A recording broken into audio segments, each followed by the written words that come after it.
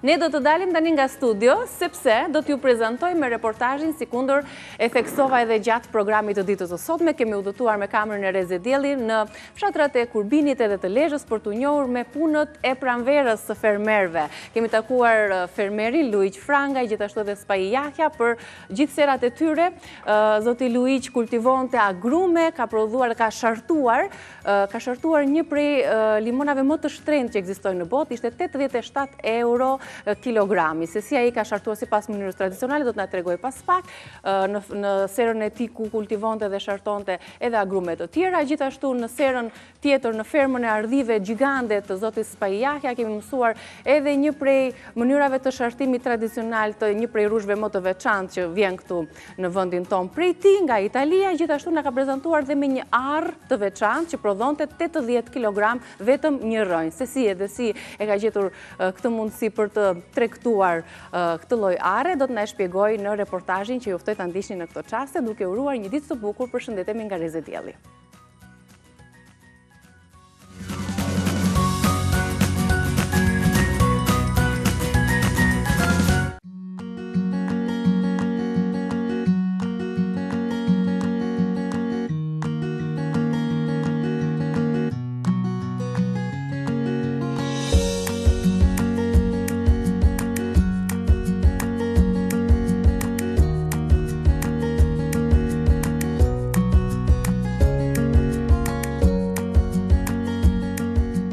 Sezoni i pranverës është një fazë shumë e rëndësishme për të gjithë bujqësinë edhe për fermerët një nga sezonet ku ata fillojnë të mbjellat, të kultivojnë prodhimet e tyre, Këtu jemi në serrën e zotit Luigj Frangaj, i cili ka një jetë të tërë që merret me bujqësi. Mirë se ju gjejmë. Mirë se erdhët. Për të na treguar jo vetëm se çfarë përmban serra juaj, fidane dhe mbjellje të ndryshme, por edhe për t'u ndalur tek ajo çka ju e bëni me kaq pasion prej vitesh, shartimet e agrumeve, po. duke ruajtur mënyrën dhe metodat tradicionale të shartimeve. Kjo realisht është një miniserrë, se serra gjithmonë, me thënë, nënkupton një përmasë të madhe, dhe këtu e kemi enkas vetëm për prodhimin e fidanave. Tani, prodhimi i fidanave të agrumeve, është si edhe të kulturave të tjera, por në veçanti agrumeve, e kërkon një mjedis të tillë. sepse domethënë shartimi, zgjimi i sythit dhe vegjetimi po i sythit me fjalë don temperaturat. Gjithmonë pra fillohet në muajin mars me fillimin e lëvizjes së limfës mhm. ose lëngut që ka vetë bima. Atëherë, shirat, klima, nga dimri që si si kemi dal, ë fillimi jo, pranverës jo, është i përshtatshëm po, sepse vitet e shkuara jo ka qenë jo një borë e rëndë ku. Jo, jo, zakonisht 15-20 marsi ose brenda muajit të mars me fjalë mm. realizohen shartimet. Jo, jo, kjo është një një një një një degëz një degë e një agrumi mandarin për marrjen e sythit, se bëhet fjalë për marrjen e sythit. Ai sythi i vogël që është i padukshëm, Ky mm. pastaj kthehet në bimë. Qartë. Pra, Sa vite keni ju që keni këtë procesin e veçantë të shartimit? Ne kemi mbi 20 vjet. Mbi 20 vite. Mbi 20 vite po, 23 vite bëhem me fjalë si ne si ekonomi kemi filluar në vitin 99 dhe kemi prioritet kemi kemi patur dhe vazhdojmë prodhimin e fidanëve të hardhive, agrumeve, kivit kohët e fundit, te drufrutorët pa përjashtim ullirit etj etj. Është një metodë e studiuar ndër vite për mënyrën dhe procesin se si shartohet përmes sythave, përmes fidanëve. Tani shartimi, shartimi është një proces, proces dhe pra teknik gjithmonë flasim. Një eksperiment, po, se po, asnjëherë po. nuk e dimë se çfarë. Dhe dhe pse duhet të realizohet shartimi? Janë dy elementë, është nënshartesa, gjithmonë në gjendjet e egër, ne përdorim zakonisht trifoliatën. Dhe trifoliata ka këto cilësi, duron shumë temperaturat e ulta dhe thatësirën. Pra me fjalë ka një përshtatshmëri shumë të madhe me mjedisin. Çfarë kushtesh i duhen gjithë mbjelljeve shartimeve që shartesave që keni këtu në serën tuaj të vogël, por shumë të këndshme dhe të lulëzuar tashmë? Kjo është normalisht një serë pa ngrohje, pa po. ngrohje qendrore, thjesht vetëm me diellit, nëpërmjet diellit, por është mjaftueshëm, mm -hmm. mjaftueshëm.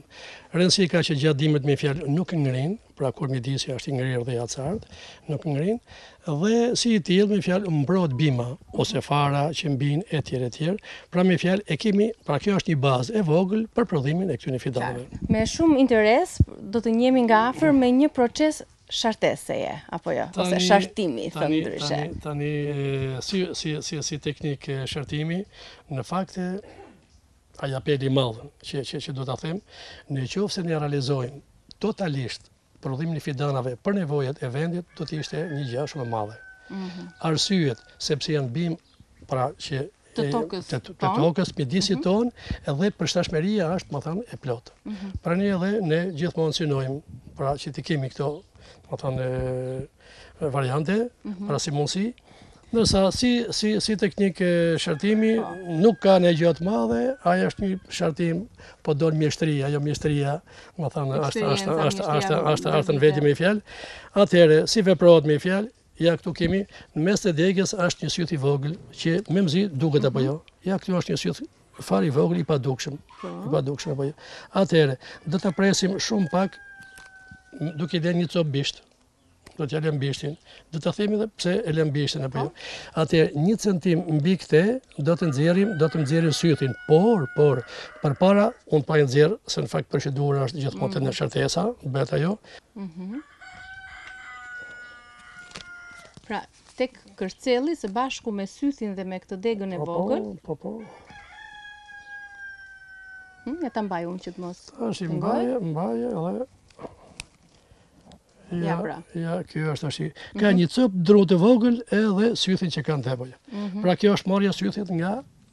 mbi shartesa. Po. Mbi shartesa presupozon varietetin, llojin e tij etj. Ku vendoset më pas? Prej tash. Ja, marrim.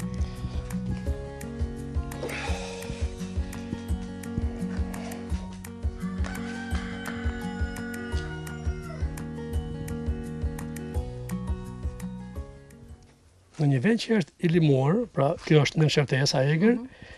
bëhet një prerje në formë T-je dhe dhe largohet me majën e briskut levorja, ja për shembull ja levorja, po. ja dhe levorja, krahu tjetër vetëm po, levorja, pa vetëm pa, vetëm levorja. Atëherë, atëherë çfarë bëjmë apo jo? Ne me kujdes gjithmonë do fusim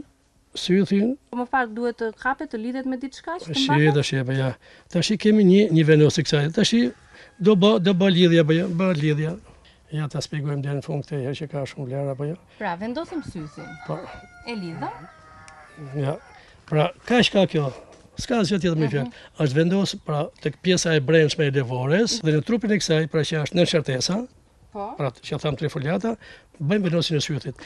Lidhja bëhet me llastik organik. Ah, dhe një llastik i zakonshëm. Jo, jo, jo, jo. Mhm. Llastiku organik mas, mas pak kohë denatyrohet edhe edhe lirohet se duke qenë shtrënguar po. kjo ka tendencën nga rritja e po, e kësaj të të rrit me fjalë po. Mhm. po ajo shkon domethënë ke një muaj një muaj gjys dy muaj më maksimum nga ky shartim tani pas sa po atëherë atëherë në qoftë se kemi vënë një syth nga një degë E një mandarine, kemi një mandarinë. Po. Çfarë shartesa keni bërë në serrën tuaj? Mund t'i hedhim një sy bashkë t'i tregojmë për kamerë. Si shartesa, po.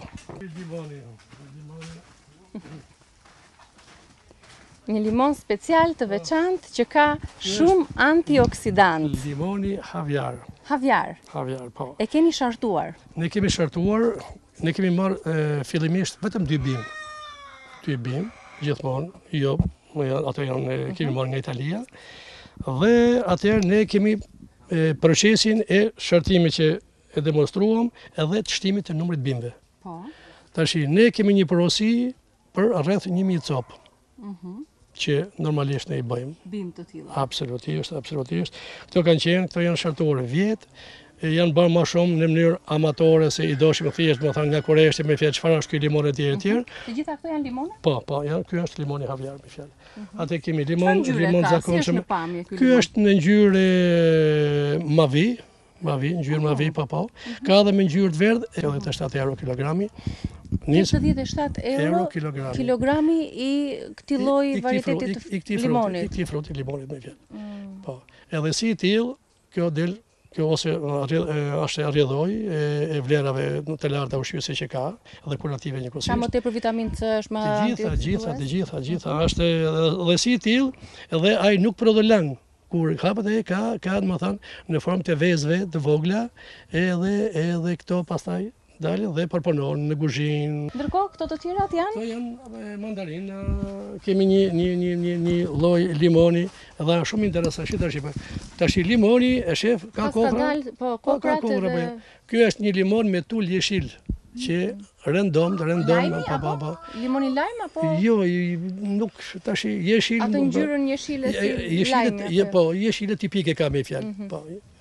Edhe edhe ky është me me me pakicë, edhe ne e ruajmë në serë, e kultivojmë, e shtojmë, por teknikë e veçantë kjo pjesa e tradicionale ruajtjes së qëmotit, të themi të shartimeve të ndryshme do të thotë se të parët tanë nuk e kanë njoh shumë teknologjinë, por me një brisk shartimi të zakonshëm kanë bërë shartimin e manave, të fiqve, kumbullave etj, mollëve në veçanti etj etj. Po ju ndërkohë e keni ruajtur këtë traditë, se pjesa më e madhe e fermerëve si veprojnë për të prodhuar? Shiko, pjesa më e madhe e fermerëve i blejnë. I blejnë, të gatshme. Të gatshme. Fidan ose Fidan, po.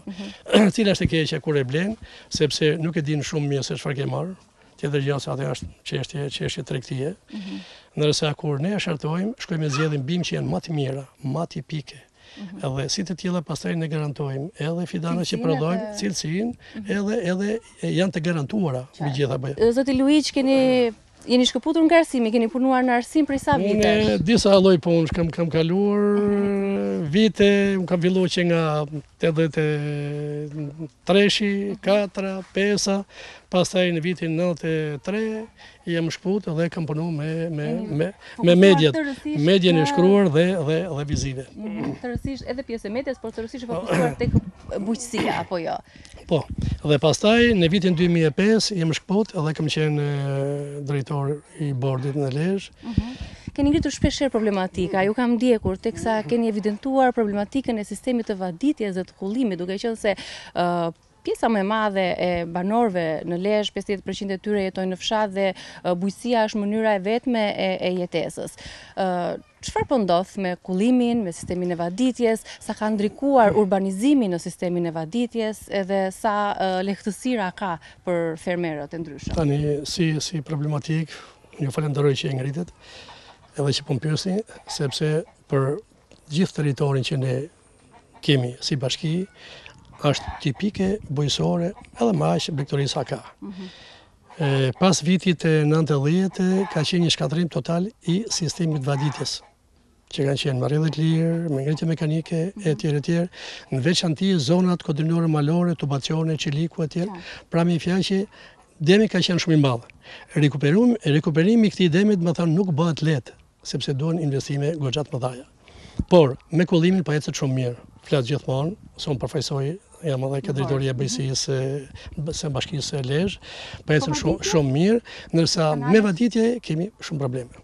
Kush është problemi më i madh? Urbanizimi i zonave i tokave bujqësore po e pengon si, po, sistemin e vaditjes? Parcelizimi, parcelizimi është njëra që ka sjellë dëm, kuptohet ajo punë, por dëmi më i madh është sjellë, ka ardhur nga dora e njeriut. Janë dëmtuar kanalet vaditëse, ato që kanë qenë me dhera, se ka me dhera dhe me betone, me tubacione, e tjere, tjere. Dhe këto një pjesë vetëm janë, janë si gjurmë, por nuk ekzistojnë. Qartë. A punohet e gjithë toka? Fshatarët e punojnë apo e lënë të...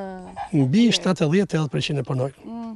Kemi edhe përqindje, unë pa po them 70-80, sepse kam parasysh shifrat, Por tashi edhe shfrytëzimi racional ose ose intensiv që kërkohet sot me fjalë, po. ai prap duhet duhet të të të Çfarë prodhohet më tepër në drithra, drithra, drithra në veçanti, drithra, perime, ato janë parcelat, domethënë, të vogla, djetë e por, por kryesisht drithra. Duke që se këtu është temperaturë shumë e lartë, nëse ju jeni mësuar, ndoshta, po sa shkon temperatura këtu brenda? Këtu shkon mbi dyzet, pesëdhjetë. Wow, prandaj nuk po e durojmë dot, duhet të ishim zhveshur. Ajrosja, ajrosja që bëhet edhe... Bëhet edhe ajrosja. Ndërkohë, shoh që keni mbjellë edhe perime. është bërë sallata, lëpjetat e tjera, barishtet... Rukola, kemi fidana që i përdorin punëtorët po edhe për mbjellë këtu dhe për, mhm. dhe për vete njëkohësisht. Domatja brenda muajit maj, domethënë,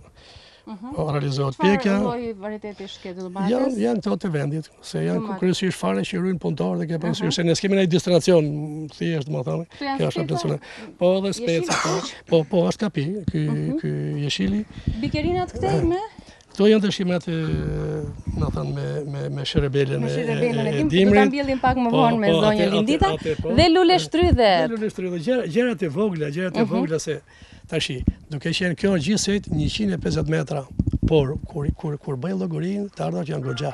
Të ardhurat, si të ardhurat flas gjithmonë apo jo. Mhm. Atëherë unë them që çdo familjari, fshatari i duhet një sipërfaqe e mbrojtur, si për relaks, apo jo.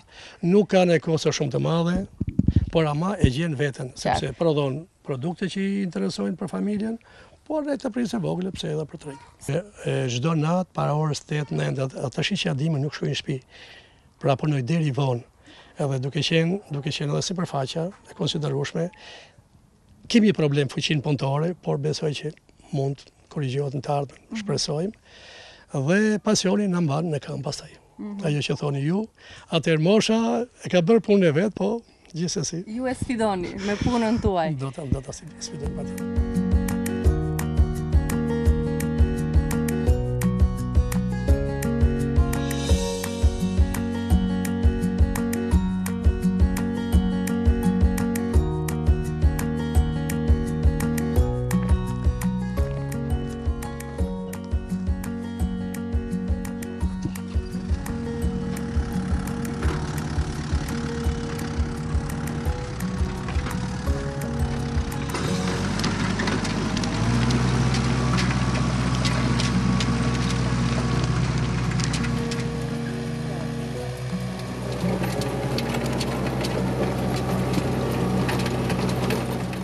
Dikur ka pasur më pak mjete, për ta ndihmuar tokën.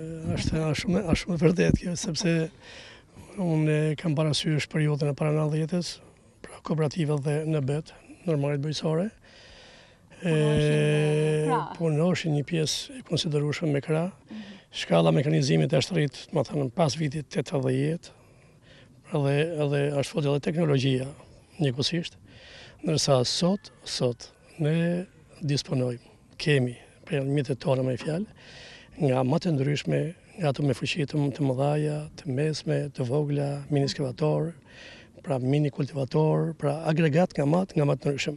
Dhe procesi që ju kryet tani quhet? Tash është procesi i frezimit. Frezimi i tokës? Të tokës po. Sa ndodh në pranverë i hardhive? Frezimi tani, i tokës së hardhive? Tani hardhitë sa, sapo kanë filluar të, të, të çelin, Dhe janë në fazën këtë që po e shifni, mhm. është një vresht serrë, me pjekje, me një varietet rrushi me pjekje të hershme. Kjo është një varietet arra, se kur i themi arra, dhe dikujt prapë, thotë arra, po, se mos po thu gabim, thotë apo arra. Arra, që po, arra, arra, arra, është, është rrush tavoline, pa farë, pa mhm. farë, biles kjo hyn te varietetet e fundit, edhe për Italinë flasim. Mhm.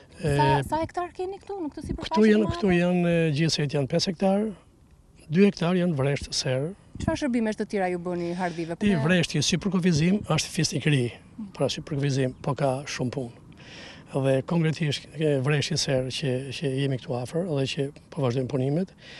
Punimet janë, fillojnë, Janë sezonale, sezoni i dimrit ka, fillojnë krasitjet, përpunimi i mbetjeve bimore. Tani nuk i djegim ma si dikur, pra sepse tash absolutisht tash i kemi trinç, i bluon dhe kjo masë pastaj kthehet në pleh. Mhm, mhm. Sepse është masë masë masë bimore. Kemi trajtimet dimërore, që janë të domosdoshme, të detyrueshme. E themi me plot gojën, shkalla e infeksionit ka arrit maksimumin.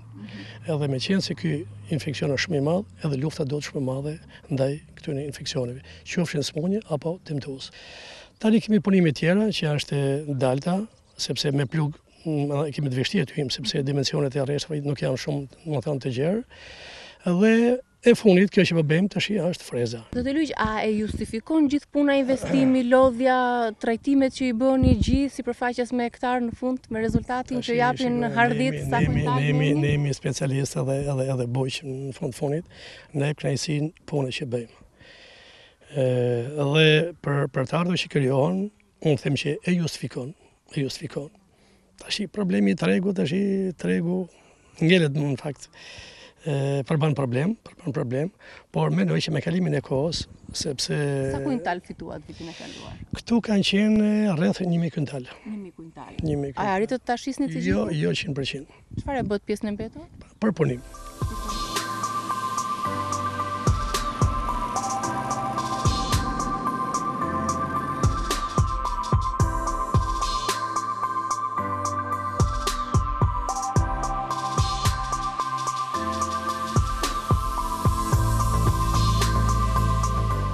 Jemi këtu me zonjën Lindita, mirë se të gjejmë në punën tënde. Mirë se erdhe.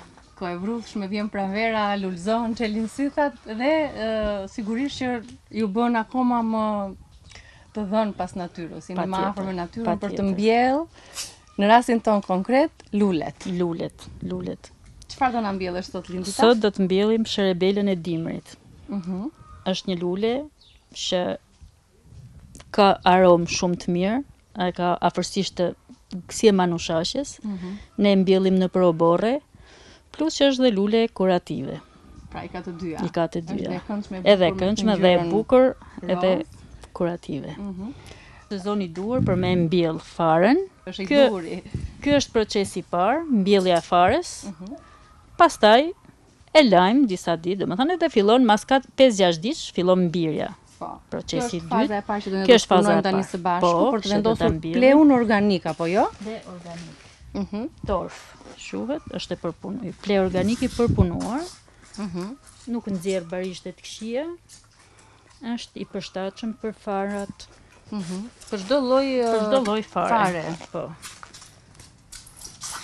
Qartë. Pra, në këto bikerinat e posaçme... E posaçme. Është me lagështinë e duhur? Po, me lagështinë e duhur, mbushen kollaj, mirë, mhm, ngjishet. Dhe në secilin kuadrat të kësaj bikerina hedhim nga një farë. Një farë për secilin. Për secilin. Fara është këtu në pjatë merret në cilën fazë të lules? Pra, pasi ka çelur sherebela, sherebela çel kjo është femërorja. Ëh. Mhm. Është dhe mashkullorja. Po. Kjo është mashkullorja, lulja mashkullore. Kjo prodhon farën. Mhm. Bien lulja, nxjerr një bishtajë. Ajo thahet, kur t'i vijë koha, pra shkon thahet edhe është fara mbrenda. Mhm. Atë e marrim e ruajmë, edhe në këtë kohë periudhë është sezoni i duhur për ta mbjellë. Për ta mbjellë. Sa zgjat? Koha e lulëzimit të shirebelës. Koha e lulëzimit zgjat pak, fillon në tetor, nga gjysa e tetorit fillon e lulëzon. Mhm. e kemi mbushur bikerinë plot e për plot me me pleh organik. Tani në secilin kuadrat do të vendosim nga një farë. Nga një farë. Pra, bëjmë kështu. Mhm. Nga një gjysmë centimetri. Tani vendosim. Mjafton vetëm një farë? Po. Po, kjo është fara, është e plotë. Në kushtet e serës, besoj se çel zhvillohet lulëzon mirë, po. shumë mirë dhe më shpejt, duke patur parasysh edhe luhatjen shpeshherë të, të temperaturave në këtë sezon. Pra, e mbyllim po, gropëzën.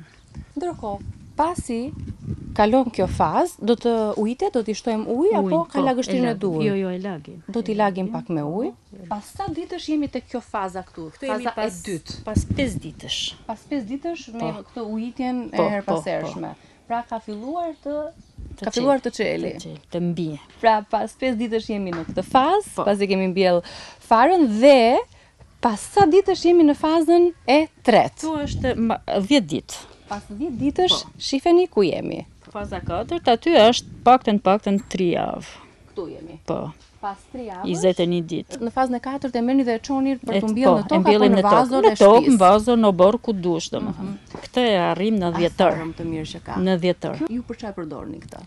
Përveç se për zbukurim edhe po bëjmë dhe çaj të mirë.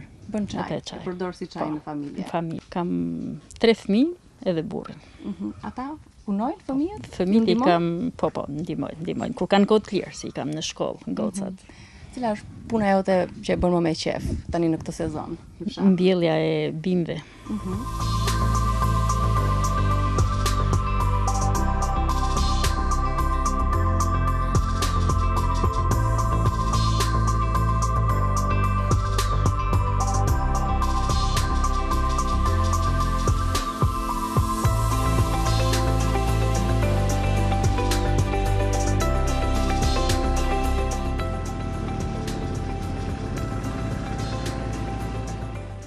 Si ju gjetëm? Mirë se keni ardhë. Si po ju shkojnë punët? Po hajde, mundohemi, punojmë nga pak. Tani po pregaditimi, po bëjmë punime, kemi bërë dhe plehërim me pleh organik. Tani po bëjmë frezën dhe për 4-5 ditë do fillojmë edhe të harrën, sepse simas varieteteve ka fillu dhe zhvillimi i hardhisë. Që t'i paraprijmë punës, duhet me fillu simas varieteteve, se kur vjen puna të grumbullohen gjitha dhe s'i përballon dot. S'i përballon dot. Ju besoj keni një sipërfaqe jo të papërballueshme, por të pakonceptueshme me sa po shoh këtu në në këtë gjithë këtë territor. Tani ideja ideja ime ka qenë sepse unë kam menduar më mirë Të gjithë ato njohuri që unë kam marrë dhe nga shkolla dhe nga praktika që ka aq vite që po punoj, të paktën kam filluar në 99-ën që kam investuar në vreshtari, unë kam ndërtuar deri tani kam shkuar në 16 hektar vreshta. 16 hektar. Sa prodhim të japin? E, nga këto janë të ndara me varietete ka dhe rrush tavoline dhe rrush industrie. Mm -hmm. Unë para tre vitesh kam investuar dhe kam bërë dhe një hektar siç e shikoni këtu, mhm. është rrush tavoline pa fara, kjo po. sera këtu investim këtu, me një shoqëri italiane, mhm. edhe këtë vit unë e kam bërë shartimin dhe kam Shartuar me një varietet që quhet Arra Trento. Është ngjyrë e bardhë, rrush tavoline pa fara. Është një varietet jo shumë i njohur për Në Shqipëri nuk ka asnjë nga ky varietet.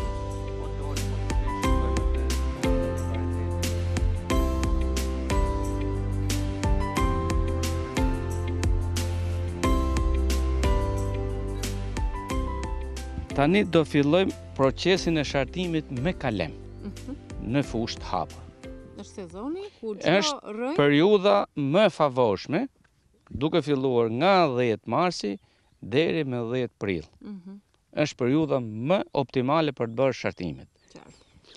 Ne këtu mbi këtë do shartojmë një varietet i cili quhet Arra Trento. Është varietet i ri që nuk ka hyrë në Shqipëri. Bëjmë prerjen. Hapet lëvorja që të kemi mundësin që kur të bëjmë prerjen të fortë. Sa vite keni po, që punoni me zotin Spahia? Me Spahinë kemi disa vite, jemi edhe kolegë, mhm. edhe gjithë edhe bashkjetojmë këtu në këtë periferi, mhm. edhe kjo është nga si.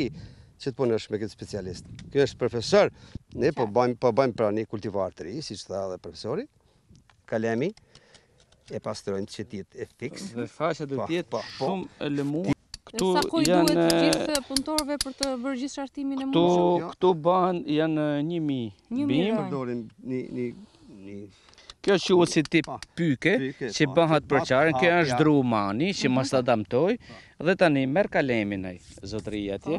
Ja, tashti ai bën prerjen e kalemit. Mundohemi që t'i bëjmë gjithë në dy prerje dhe në dy krahët njësoj, domethënë që... E vendosim? Edhe kjo bëhet përputhja fikse. Rrifit i qik me qik i qik. Do të lidhet më pas me diçka? Tani do lidhet dhe do izolohet me izolus A pasta fat për këtë bio. Ajo don nji forcë. Po ja tani po e shikojmë që ta demostrojmë tamam. Ndoshta shërben edhe për fermerë tjerë që ta shikojnë. Shkurton vitet e hyrjes në prodhim të fidanit. Tani është procesi i izolimit. E kemi shartuar? Ajo është nënshartesa. Nënshartesa, po. Tani kjo për dy javë fillon zënien dhe rritjen e sythit. Besoj keni fuqi punëtore që ju ndihmojnë dhe Tani problemi kryesor sot është sepse fuqia punëtore po na largohet. Pse janë të pakënaqur nga pagat, e pamundur për të jetuar dhe për të punuar në mënyrë sezonale? Këtu faktikisht puna është sezonale. Dhe që të punësosh një punëtor sot, Ai duhet që ta ketë të siguruar tërë vitin punën.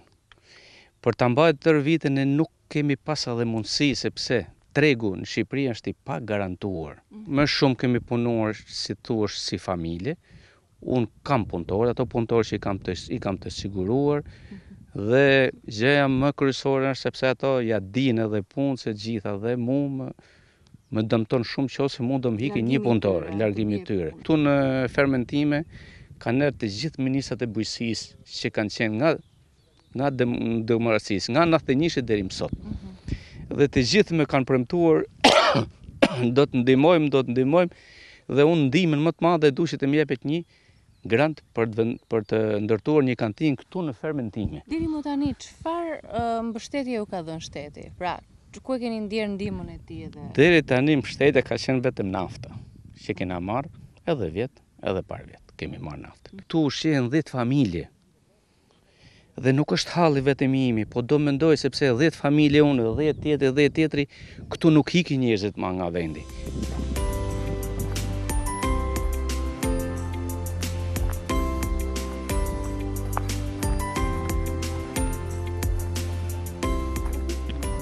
Këto janë kumblat e para që dalin Stambolli, i themi, ne? Mhm. Atje matanë kam një lloj fiku që më ka ardhë nga Turqia. Mhm. është një fik që nuk e ban në shermen kokrën, por po e ban në trup. Siç shikojmë edhe këto dy arra, nga këto lloj arrash, unë kam rreth njëqind rraj, mhm. po një diçka që du të tregoj është e veçant, Vetëm nga kjo rraj, këtë vit, ka pas aq shumë si rreth tetëdhjetë kile kokrra kam marrë vetëm nga nga kjo arrë. Vetëm nga kjo? Nga, e. Këtë Sa që po ta nigjoj dikush thotë ça ky budalla që thotë kështu. Mhm. Si ka mundësi që Kurse, ka prodhuar kaq shumë? Ka prodhuar aq shumë sepse ushqimin e ka pas, ujtin e ka pas.